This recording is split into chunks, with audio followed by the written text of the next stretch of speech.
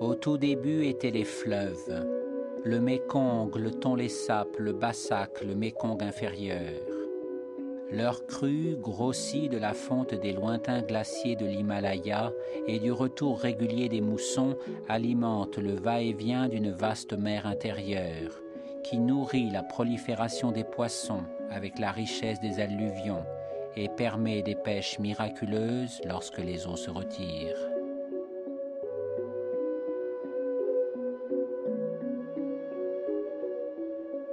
Le cœur du Cambodge bat depuis les origines au rythme de ce perpétuel mouvement des eaux, assurant la subsistance des hommes. Mais cette profusion attire aussi les convoitises. Pêcheurs vietnamiens et marchands chinois ont aussi suivi le cours des fleuves, et la coexistence des Khmers et de leurs voisins a connu au long des siècles paisibles ententes ou affrontements sévères selon que le pouvoir central était affermi ou fragile. Tragique destin dont Norodom Sihanouk a rassemblé les sons durant son exil en Corée du Nord raconte pour partie cette histoire. 나오셨습니까? 나오셨나요?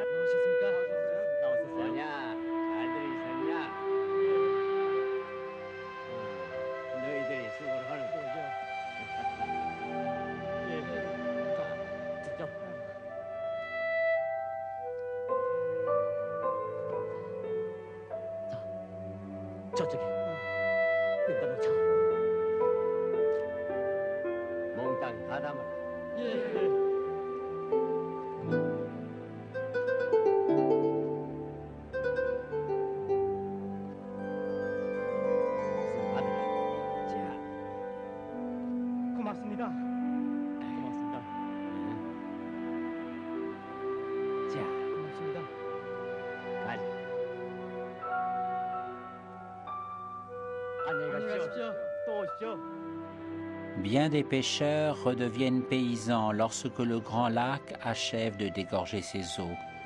Tout un réseau de canaux et de digues leur permet alors d'irriguer les rizières, où s'est déposé le limon charrié par les crues.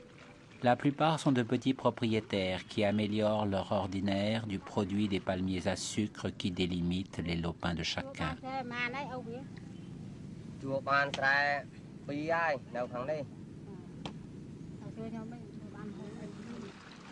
Durant des siècles, les villages vécurent ainsi paisiblement et sans famine, pratiquant l'entraide et une résignation souriante que l'on croyait douce et éternelle.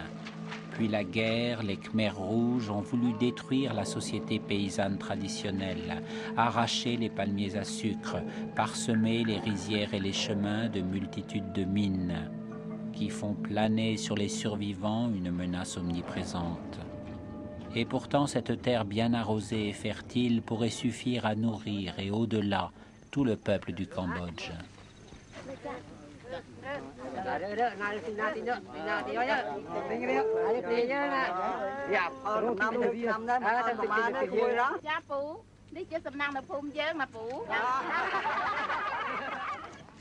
Cependant, les interminables années du malheur n'ont pu déraciner les habitudes et les coutumes de la civilisation paysanne d'autrefois.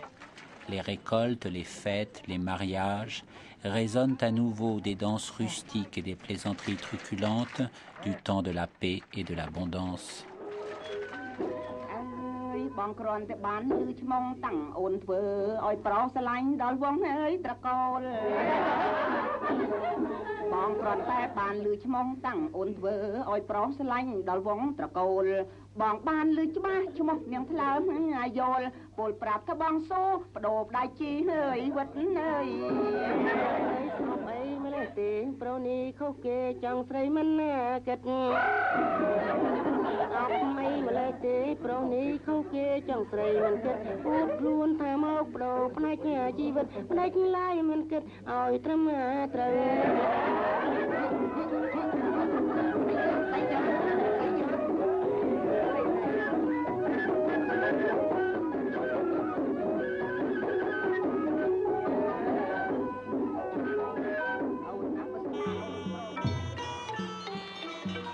Chaque année, la fête des eaux, ordonnée par le roi, célèbre la période où le les sapes change de cours après avoir débordé sur la plaine et se vide comme un réservoir vers le Mékong et vers la mer. Ce mouvement des eaux qui promet la prospérité des mois futurs est naturellement perçu comme un événement sacré où se confondent l'hommage rendu au roi et les réjouissances populaires. Au temps du protectorat français, les autorités de la République entouraient d'une pressante attention le jeune Norodom Sihanouk à cette occasion de communion patriotique. Tels de lourds brochets, maladroits et fascinés par l'aimable et séduisante anguille qui anticipait déjà sur eux les fluctuations de l'histoire.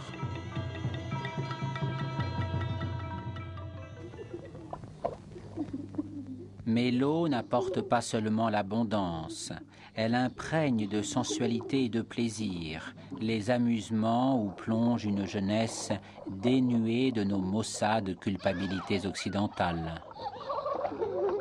Bain de nuit pour film tendre et soit qui mal y pense.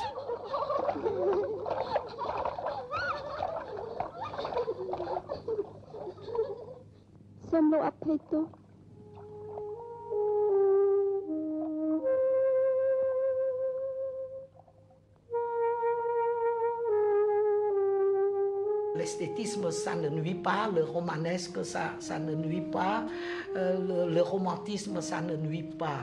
Donc euh, je fais de l'esthétisme du romanesque aussi, je l'avoue.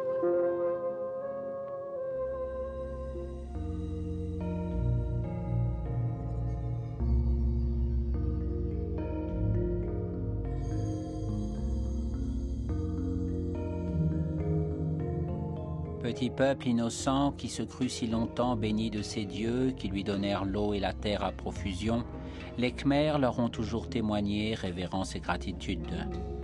Le bouddhisme, en sa profonde tolérance accueillant les vestiges de religions anciennes, est inscrit au plus profond de la civilisation khmère. Il a longtemps maîtrisé les pulsions de violence et de désespoir que pouvaient faire surgir les ambitions de voisins trop avides ou les querelles entre puissants oublieux de leurs devoirs.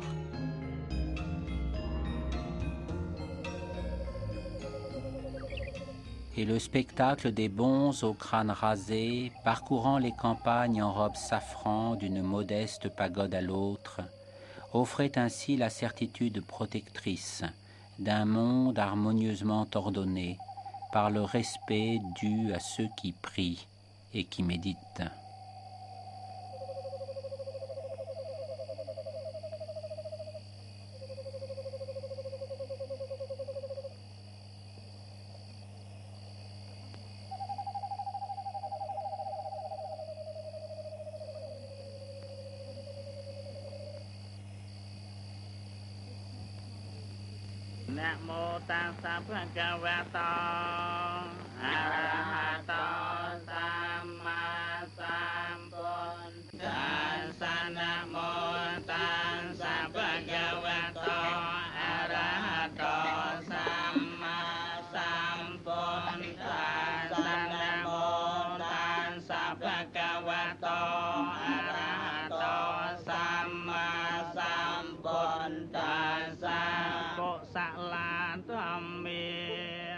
Ce domaine, comme dans bien d'autres, les Khmers rouges ont tenté d'apporter la destruction et la mort, massacrant les bons et détruisant les pagodes.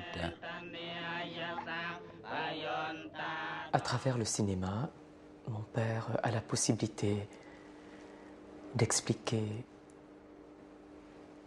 l'histoire du Cambodge, la culture du peuple khmer, et les problèmes que le Cambodge rencontre.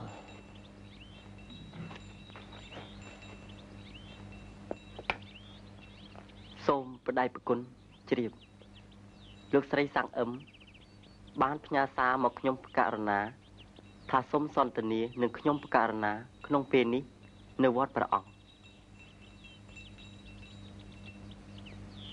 តើខ្ញុំបករណា ត្រូវទៅតាមផ្លូវណា ដើម្បីជួបនឹងលោកស្រី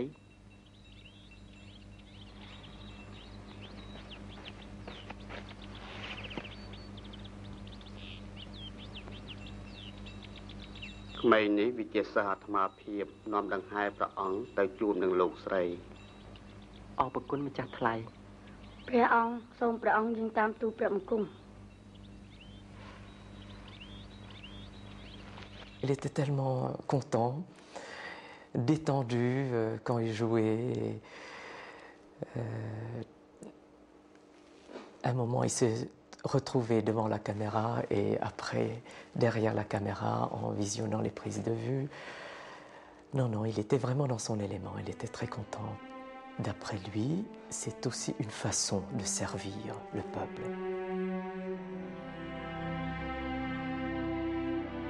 Il y a 1200 ans, les Khmers, solidement rassemblés par une culture et une histoire déjà très anciennes, et maîtres d'un immense empire qui s'étendait des portes de la Chine jusqu'à celles de l'Inde, se sont lancés dans la construction d'une capitale fabuleuse, dont les temples devaient honorer la mémoire des rois autant que les travaux et les arts du petit peuple.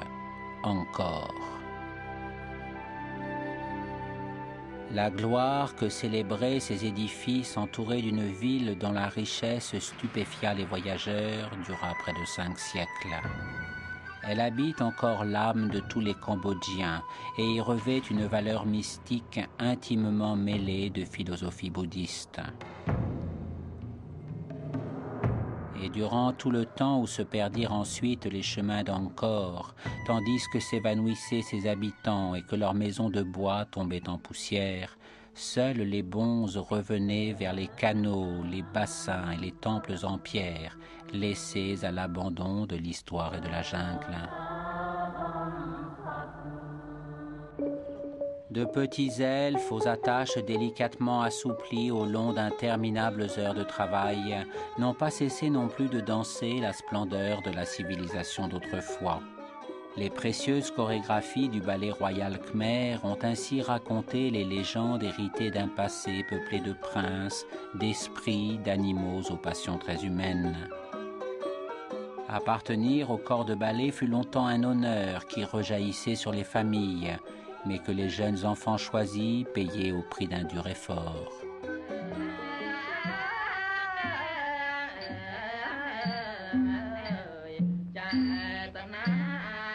Les Khmers rouges en ont pris prétexte pour tuer les professeurs et disperser le souvenir de leur enseignement. Cependant, la princesse Bopa Devi, fille aînée du roi Sihanouk et étoile incontestée du ballet, dont elle a longtemps incarné la grâce devant la caméra de son père, avait gardé toute la mémoire des gestes qu'une infime poignée de survivants n'osait plus transmettre. La danse khmer, ça a existé depuis longtemps, depuis même euh, avant encore. C'est comme euh, notre tradition à nous, khmer, que chaque euh, de son royaume et le roi a le devoir de, prendre soin, de s'occuper du ballet royal.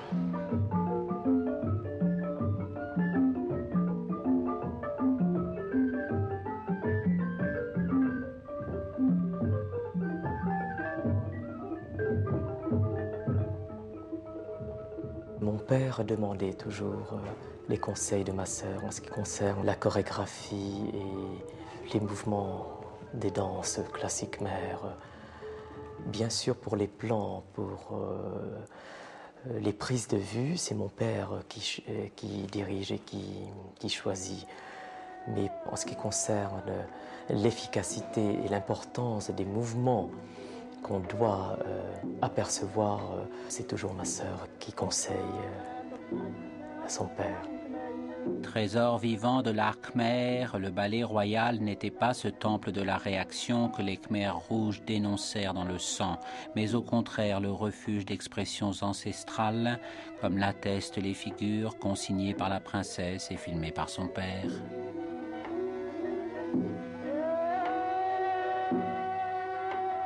Du temps de sa puissance, encore vit se succéder bien des règnes, mais c'est celui du grand Jayavarman VII, dont l'ineffable sourire est sculpté sur des statues partout reproduites, qui sert de modèle au roi du Cambodge, par sa bienveillance et son dévouement à l'égard du peuple khmer.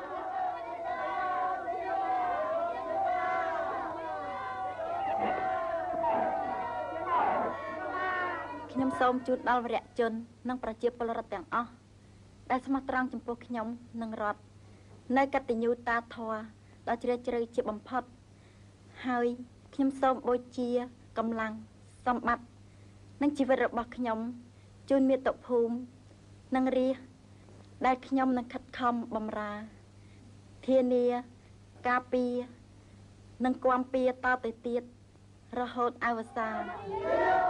C'est surtout le peuple khmer qui est mis en valeur dans ce film. Le petit prince, le rôle du petit prince, est une image que mon père aimerait bien présenter. La monarchie ne peut exister seulement à une condition qu'elle sert le peuple, qu'elle est au service de son peuple. Ce n'est certes pas un hasard si Norodom Sihanouk a choisi son propre fils encore enfant, le prince Siamoni, pour incarner à encore même l'idéal royal intemporel auquel il aspirait lui-même, dans un conte délicieusement poétique, filmé à une période qui allait le devenir de moins en moins.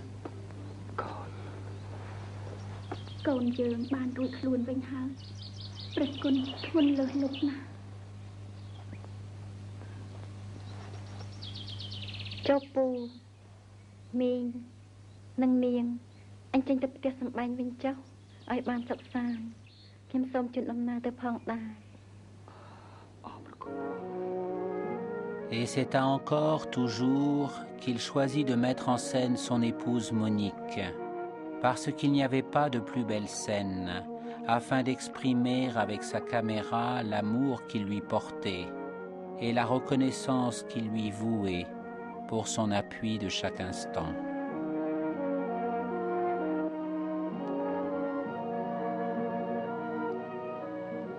អ្នកប្រាជ្ញឥណ្ឌាគេបានសរសេរថា ប្រាសាទនិងវិហាររបស់ខ្មែរសិតសឹងជាសមិទ្ធិចម្លងពីប្រាសាទនិងវិហារក្លឹងគឺពុំមានសភាពខុសប្លែកអំពីវិមានសិលាឬរ៉ាណានៃប្រទេសឥណ្ឌាទេ តាមដែលខ្ញុំបានសង្កេតមើលប្រហែលថ្ងៃនេះហើយឃើញថាពិតមែនតែអរិយធម៌របស់ខ្មែរបានក្រេបជញ្ជក់នៅរសជាតិនៃអរិយធម៌ឥណ្ឌាក៏ប៉ុន្តែ ខ្មែរចេះបង្កើតនៅទ្រង់ទ្រាយនិងក្បាច់ក្បូរដែលមានលក្ខណៈ original ណា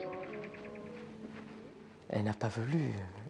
Au début, elle a longtemps refusé de jouer dans les films de mon père. Elle s'occupait de la Croix-Rouge, elle s'occupait beaucoup de choses, euh, des affaires humanitaires. Pour jouer, c'était très difficile de la convaincre.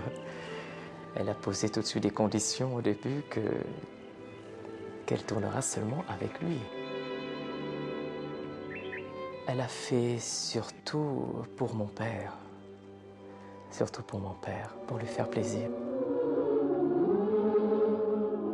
Pense que c'est surtout par amour qu'elle a accepté de, de, jouer.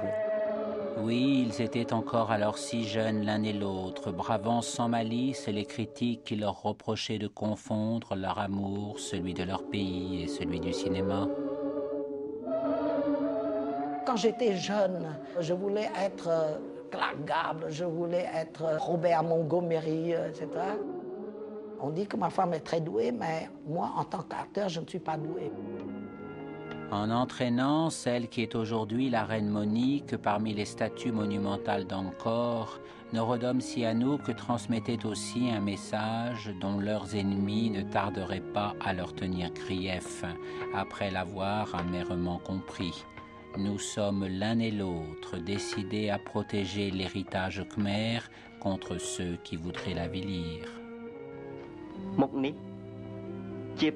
មុខនេះជាប្រភពព្រះពោធិសត្វព្រះនាមអាវាលោកិតស្វារា ដែលជានិមិត្តរូបនៃមហិទ្ធិឫទ្ធិរបស់រាជបល្ល័ង្កតែព្រះភ័ក្រព្រះពោធិសត្វនេះទៀតតាមការពិត ជាព្រះភ័ក្រនៃព្រះបាទរាយារ៉ូម៉ាន់ទី7នោះឯងដែលលោកតតឈ្មោះទៅទិសទាំង4គឺលោករងចាំការពារជាតិមាតុប្រទេស និងរាជកុំឲ្យមានសត្រូវមកយាយីបៀតបៀនបានឡើយ ទោះបីវាចេញមកពីទិសណាក្តី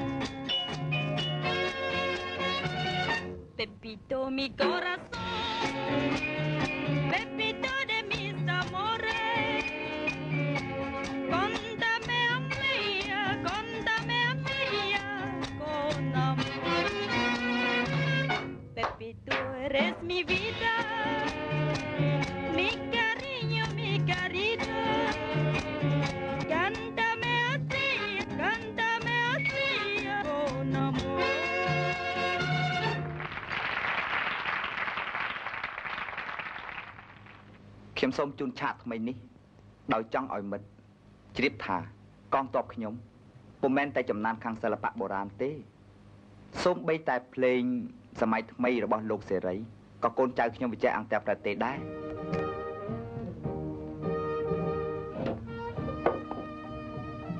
អាយុដំ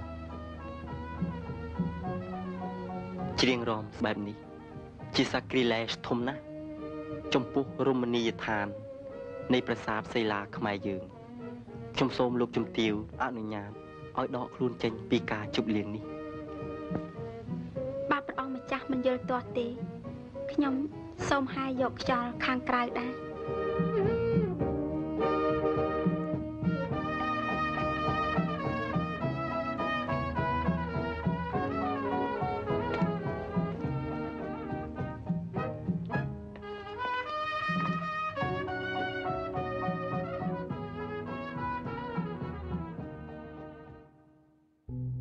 ne sait pas très bien au juste quand s'éteignit tout à fait la puissance d'Angkor, minée par l'une des inéluctables phases de déclin qui frappent tous les empires, et ravagée par les attaques et les pillages des armées de princes siamois.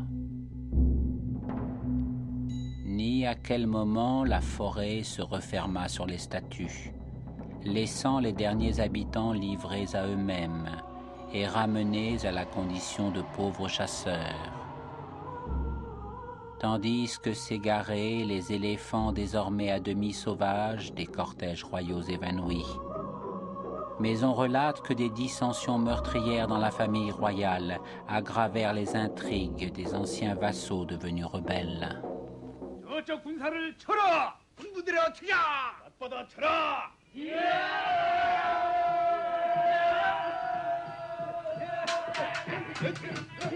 Go!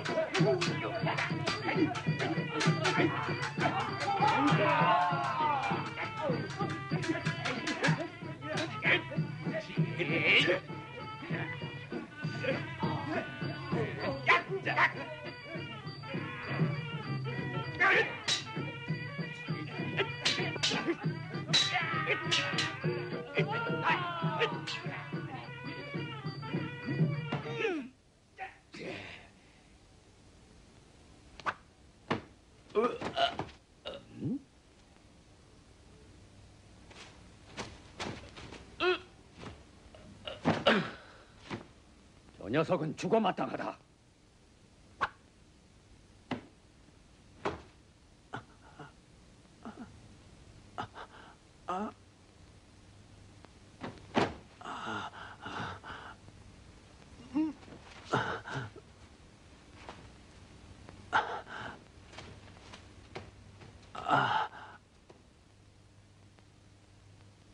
왜 그러셨나이까?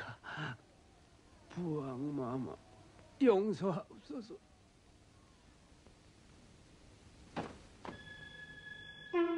Cependant, jamais ne se rompit le pacte d'alliance entre le peuple khmer et ses rois, qui gagnèrent ensemble d'autres régions et édifièrent d'autres capitales pour mettre à l'abri l'identité du Cambodge contre les Siamois et les Vietnamiens qui se disputaient son territoire.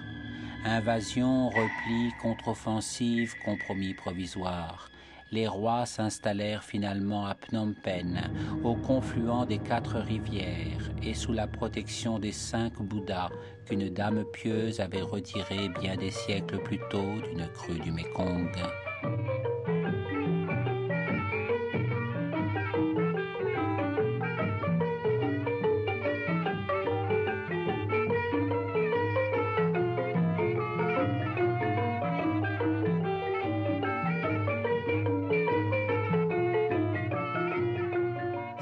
Que les Français qui s'étaient emparés de Saïgon s'avancèrent jusqu'à eux après avoir remonté le Mékong inférieur, avides de les dominer, mais bientôt trop émerveillés par la splendeur préservée de leurs traditions et de leurs rites pour oser y porter une atteinte sans recours. Un autre compromis que les protecteurs s'illusionnèrent de croire définitif et que les protégés, instruits par leur longue survie, considérèrent doucement en le sachant fatalement éphémère.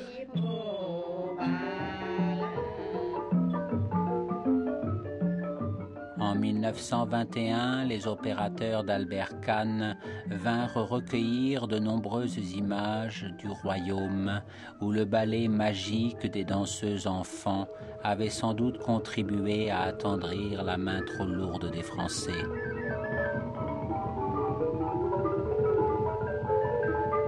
C'est quelques mois plus tard que naquit aussi le roi Norodom Sihanouk.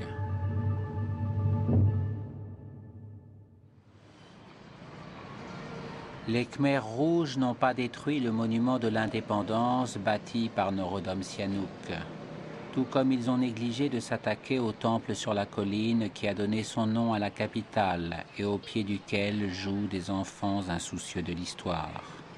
Pourtant, il est une part du passé que les révolutionnaires fous ont repris au compte de leur nationalisme forcené, celui que rappellent des monuments glorifiant les succès du Cambodge. Ainsi retrouve-t-on la fresque célébrant le retour des provinces occupées par le Siam. Mais la statue du roi Sisovat, au centre, a disparu. Les Français affectaient de traiter le vieux roi avec un grand respect, mais ils témoignaient de la même déférence intéressée à ses parents de la branche des princes Norodom. En somme, le premier acte politique du roi Sihanouk fut simplement de naître, apaisant la sourde rivalité familiale, puisqu'il était si sauvate par sa mère et Norodom par son père. Scénario de Roméo et Juliette pour un premier film au dénouement heureux de vrais artistes euh, en tant que musiciens, musiciennes.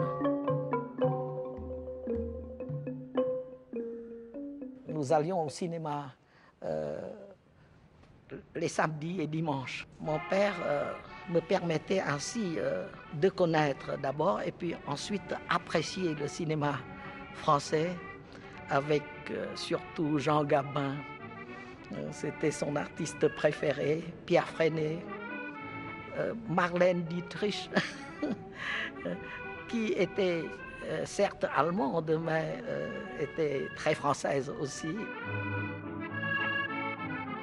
Alors, ça m'a donné l'idée de faire des films moi-même.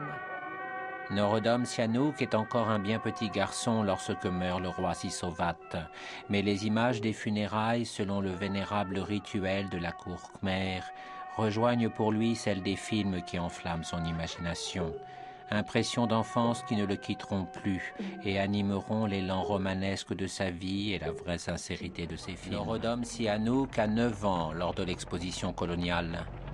Moi, j'étais euh, un lecteur assidu de Pierre Benoît qui a écrit sur le Cambodge, le roi lépreux. C'était très très très bien écrit.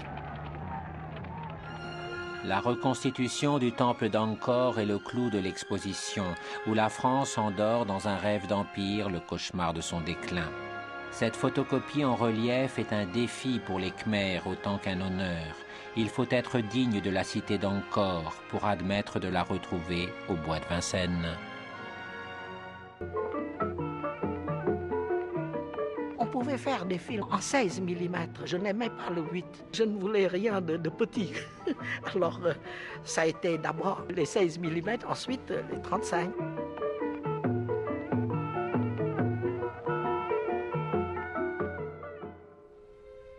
En 1941 meurt le roi Monivong, grand-père maternel du jeune lycéen Norodom Sihanouk, qui lui rendait souvent visite et l'observait en silence quand il signait sans le lire le courrier préparé par les Français. Pour l'amiral Decoux, proconsul pétainiste d'une Indochine dont la guerre a largué les amarres, ce petit Sihanouk si gentil et si discret est le meilleur successeur possible d'un souverain bien docile. Oui, mais comme c'est curieux, le courrier sans importance, voilà qu'il s'avise de le lire. Au fait, les Japonais occupent désormais l'Indochine et on ne sait plus qui protège qui. Les Japonais, ils ont vu un roi. Ils avaient un Gaulaïta qui s'appelait Tan, Sangok Tan. Ils me l'ont imposé, je ne pouvais pas faire autrement j'ai dû euh, accepter ce compromis. Les Japonais me laissaient le trône. Je nageais entre plusieurs eaux, alors l'eau française, l'eau euh, japonaise, euh, les eaux cambodgiennes. Ils étaient très brutaux, ils étaient, ils n'étaient pas comme les Français, quoi. Alors euh, les, Cambodgiens ont fini par aider beaucoup les Français euh, à les cacher, etc., pour que les Japonais ne puissent pas les arrêter. Je l'ai montré dans Rose de Boko. Je jouais le rôle d'un colonel japonais euh, qui s'est suicidé à la suite de la défaite japonaise. J'avais écrit ce scénario pour ma femme. Alors ma femme me dit, tu, ne vas tout de même pas me donner un autre garçon pour, essayer de me séduire en tant qu'officier japonais.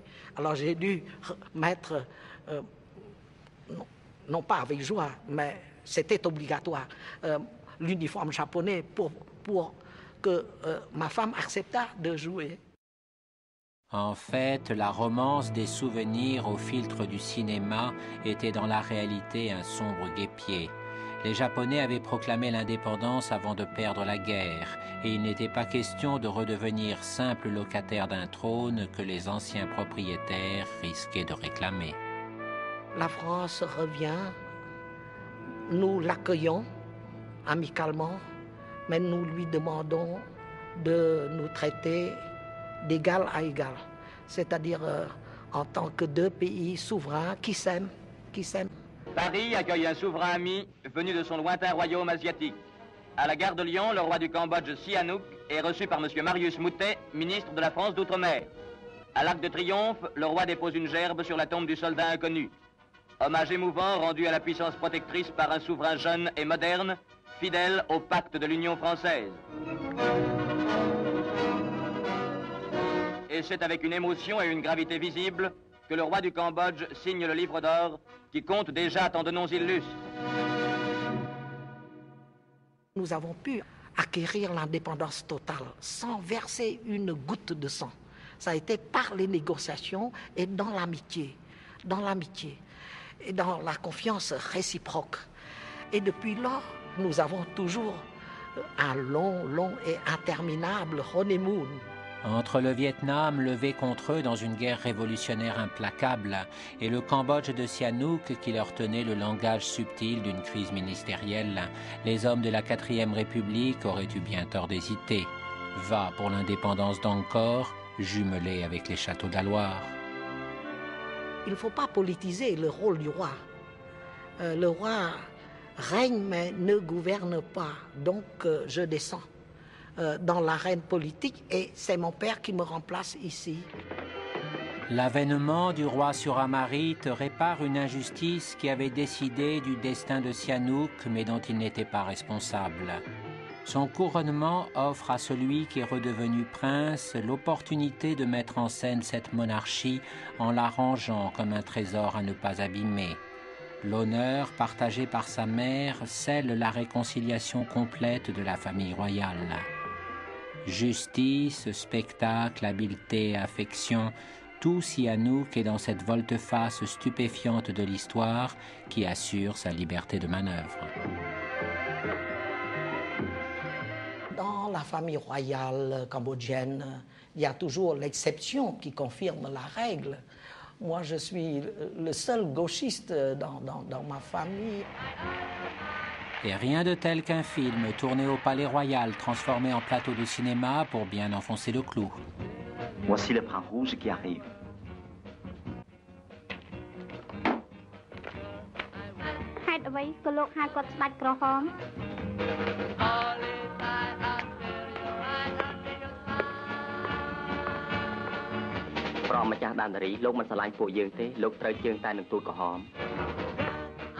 J'ai une fascination pour euh, l'anti-impérialisme, pour euh, ce qu'on appelait le progressisme. Ce n'est pas toujours le progrès d'ailleurs.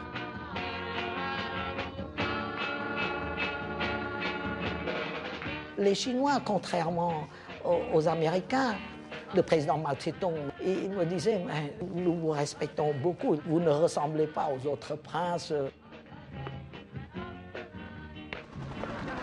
Et ainsi vole gaiement le prince Norodom Sihanouk sur le panorama plein de promesses des années 60, porté par les vents de l'émancipation des peuples, et se pose-t-il comme un messager du ciel parmi les délirantes manifestations d'affection des siens?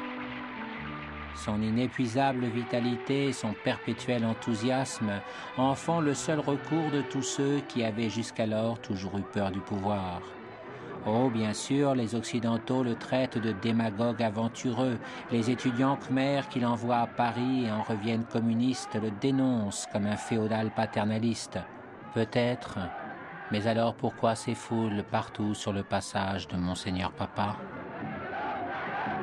J'étais arrivé quand même à faire de mon peuple un, un peuple heureux, en paix, prospère. Norodom Sihanouk sait que le temps travaille contre la paix. Il refuse que ce soit aussi contre lui qui entend la défendre. Il n'a jamais lu Marx, mais il voit bien que la société khmer d'autrefois est en train de disparaître sous l'impact des idées nouvelles, parce qu'elle n'était pas aussi idyllique qu'il aurait voulu le croire, et parce que les paysans sont allés aux écoles qu'il a fait construire. Vite, vite, foncez vers un nouveau monde encore indéfini, mais qui serait chaleureux sans être communiste, solidaire sans être révolutionnaire, patriote sans faire de guerre, et réussir cette utopie en diffusant ces images comme autant de preuves, avant que le Hanoï d'Ho Chi Minh et le Saigon de la CIA n'imposent les leurs.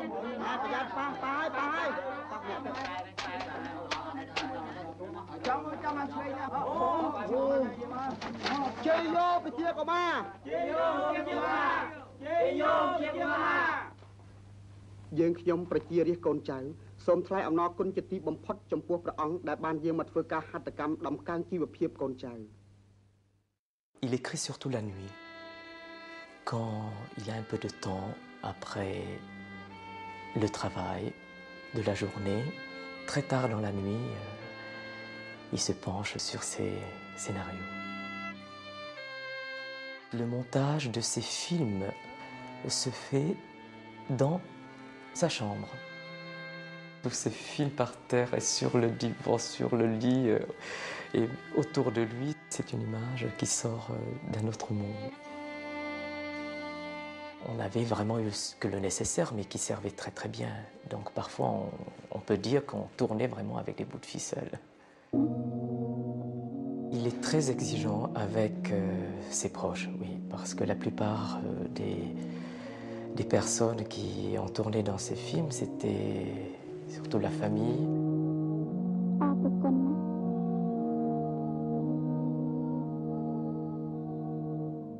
Ma mère ne se mêle jamais de la préparation du film, ni du tournage, ni du résultat. Elle attend tout simplement à voir euh, le film une fois fini. Si mon père lui demande son avis, elle le lui donne. Sinon,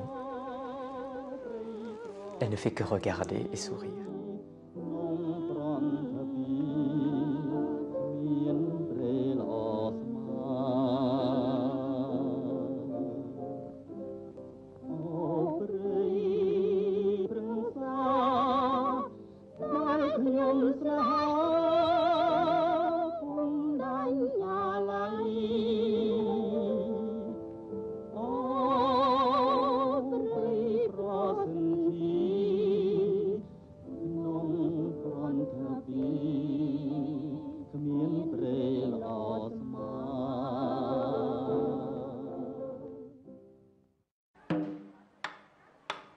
1966, la visite du général de Gaulle à Phnom Penh marque l'apogée de la première vie de Norodom Sihanouk.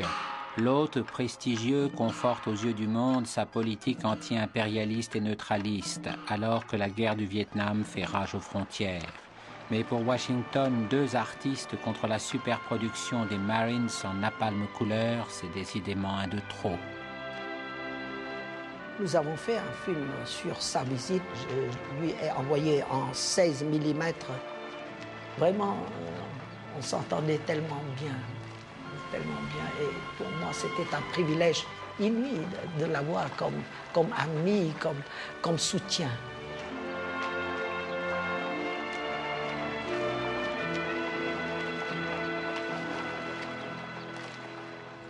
Vraiment, vous savez mon cœur battait, n'est-ce pas? Euh, euh, De Gaulle, c'était mon idole. Et euh, de l'avoir ici sous mon toit, c'est un rêve inouï qui s'est réalisé.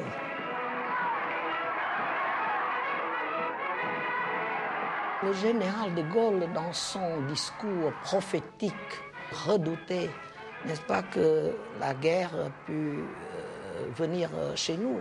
Il disait, faites bien attention, pas, suivez bien votre chef, le prince Norodom Sihanouk. Il ne faut pas l'abandonner parce qu'après vous auriez des ennuis majeurs et tragiques même. Sa crainte était fondée, sa crainte était fondée.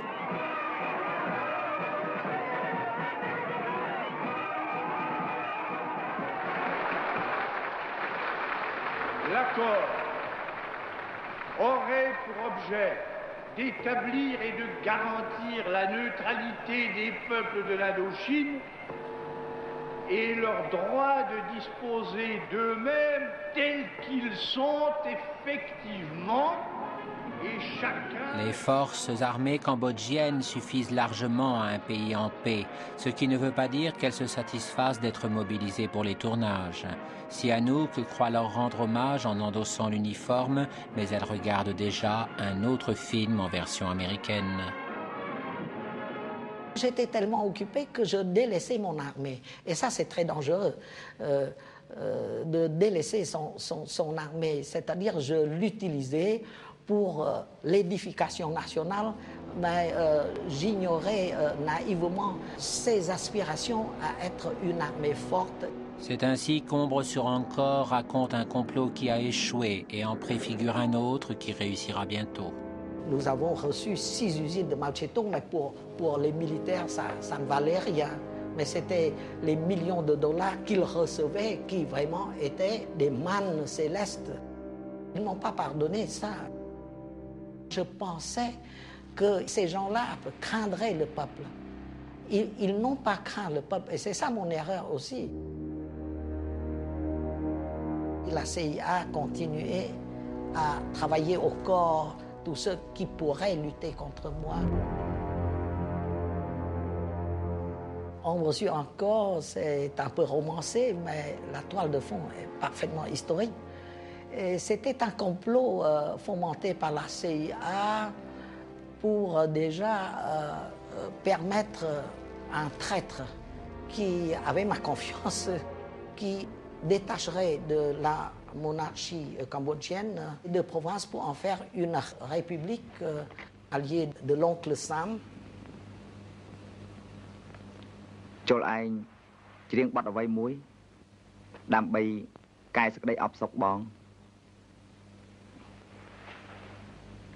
Ainsi, l'acteur célèbre que les Khmers rouges assassineront compose une formidable figure de traître ténébreux dont la superstition annonce celle de Lon Nol, premier ministre félon et prochain tombeur de Sihanouk.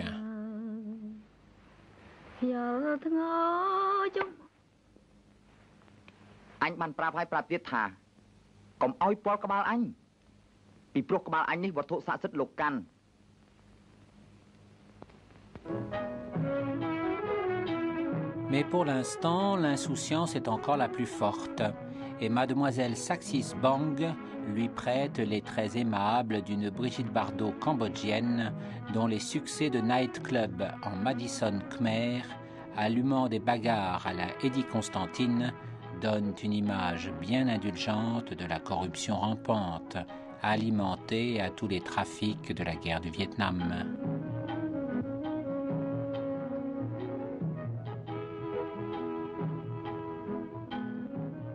Moi, je n'ai jamais été corrompu, mais je ne pouvais pas euh, balayer euh, la corruption euh, jusqu'à la faire disparaître à 100%, je ne pouvais pas.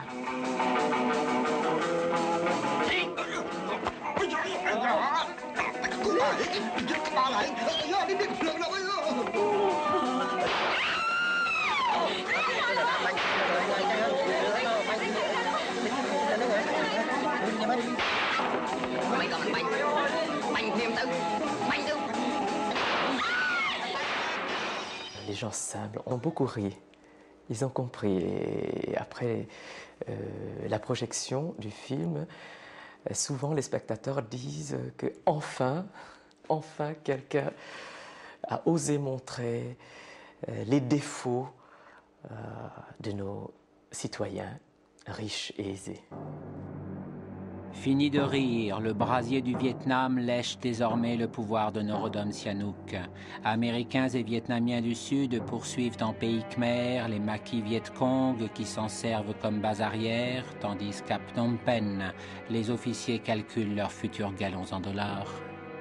Les Américains ont voulu vraiment se débarrasser de moi. Et euh, ils n'aimaient pas ma politique qui consistait aussi à être très très ami avec euh, les Chinois communistes, avec les Vietnamiens communistes.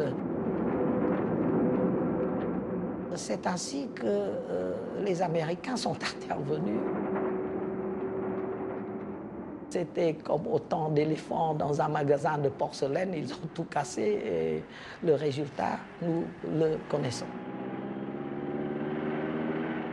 C'est le crépuscule de, de quoi. En tant que chef d'État du Cambodge, chef d'État tout-puissant, euh, crépuscule.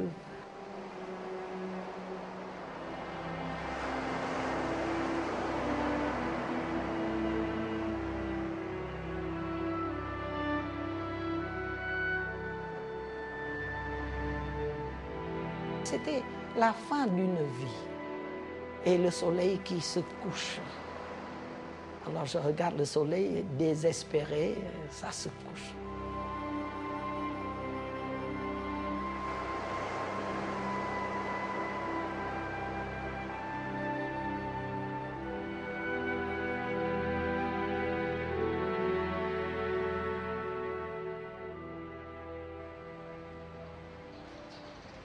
Renversant Sihanouk, la République pro-américaine de Lon Nol plongeait le Cambodge dans la guerre et ouvrait le chemin à la victoire des Khmers rouges, tortionnaires hallucinés de leur propre peuple.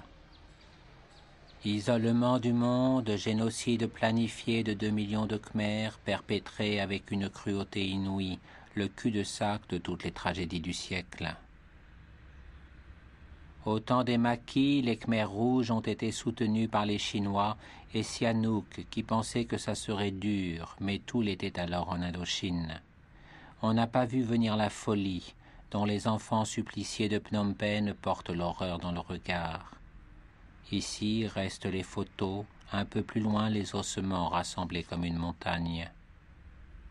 Pour les cris, personne ne sait. Gémir sous la torture, c'était la mort tout de suite. On a tout de même l'impression de les entendre.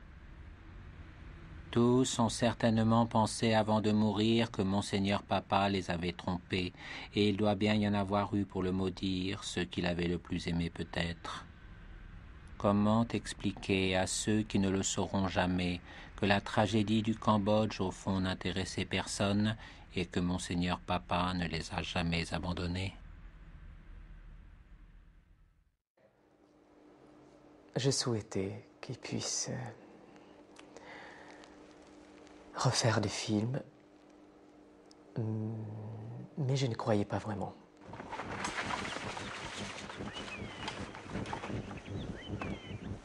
Quand il nous a annoncé qu'il a l'intention de refaire des films, c'était comme un devoir pour euh, montrer ce que le peuple khmer a dû souffrir.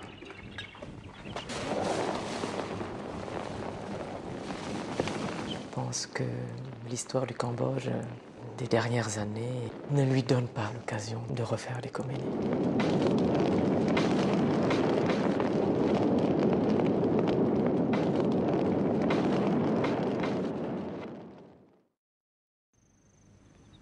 les mines qui explosent sous les pas des petits-enfants qui vont à la pêche et des paysans dans les rizières. Les jeunes gens abusés par les Khmers rouges qui les rejoignent dans leur bastion des montagnes et deviennent complices de leurs crimes. Les expatriés dont le devoir est de revenir. Les médecins et les travailleurs sociaux qui tentent de recoudre les plaies de l'histoire chaque film est désormais tiré de faits réels et de personnages montrés en exemple.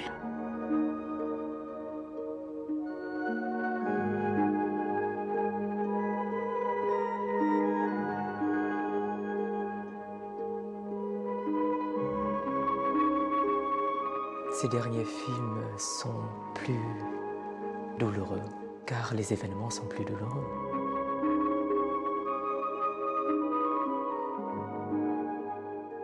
voit que mon père ressent une immense douleur. Mais il y a aussi une plus grande combativité. On ne montre guère les films du roi cinéaste en Occident.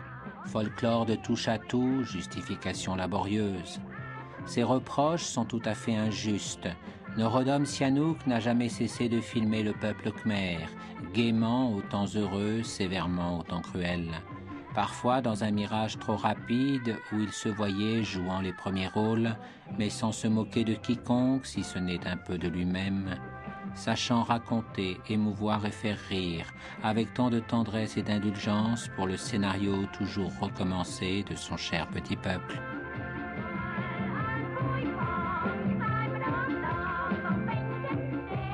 Regardez, même si un autre joue son rôle, c'est encore lui, ce bon obstiné, qui emmène de pauvres gens chez les riches pour réclamer justice.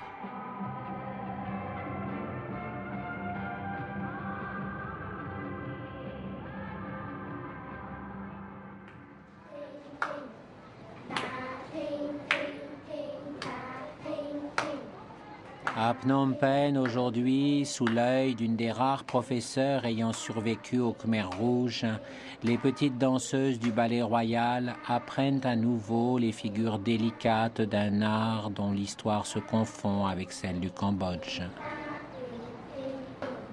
Et si on ne voit plus de jeunes princes assister aux répétitions des grandes, c'est toujours un honneur sans égal pour les familles. Après tant de morts et la menace de l'oubli, ces enfants renouent les liens du passé sans même savoir ce qui est advenu et n'imaginent que l'avenir.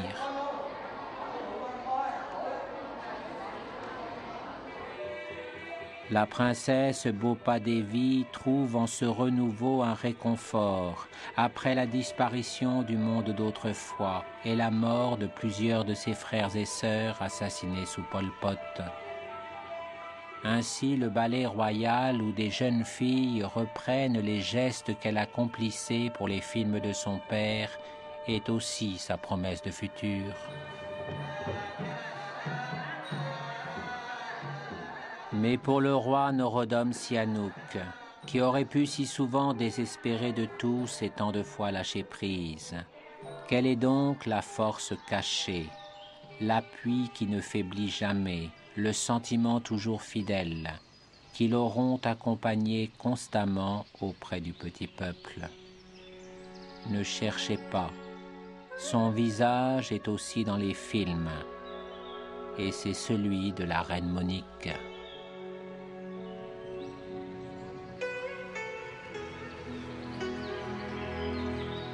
Pendant les années 76 à 79, lorsque nous étions les prisonniers de Pol Pot, ce terrain était devenu un champ de bananes. Et mes fils et moi, nous venions couper les bananes tous les jours pour améliorer un petit peu l'ordinaire. Notre ordinaire. Le, le palais est, est ouvert euh, à tous et toutes, chaque jour. Il n'y a pas de, de cloison entre le peuple et nous, jamais, jamais. Les enfants aussi. Nous recevons beaucoup, les orphelins, les enfants des rues, comme on les appelle, les enfants des poubelles. Nous les recevons très souvent. très souvent. Je me consacre beaucoup aux enfants parce que ça me fait vraiment mal au cœur de, de voir qu'il y a tant de souffrance parmi ces jeunes. Mais le gouvernement aussi fait tout son possible et nous, le roi et moi, nous faisons aussi tout notre possible pour euh, les aider à devenir de, De bons citoyens plus citoyens tard. plus tard et à avoir quand même une vie digne. Mais c'est dur quand même. 45 ans d'une tendresse qui n'a jamais hésité à le suivre, du palais de Phnom Penh à la piste Ho Chi Minh, en passant par l'exil en Chine ou à Pyongyang. Au cinéma du roi cinéaste, le plus beau rôle est tenu par la reine qui ne veut plus faire de films. Le peuple, euh, Nous nous, avons l'habitude on, on s'aimait, on s'aime toujours beaucoup. C'est beaucoup plus important que cet endroit, qui est pourtant très beau.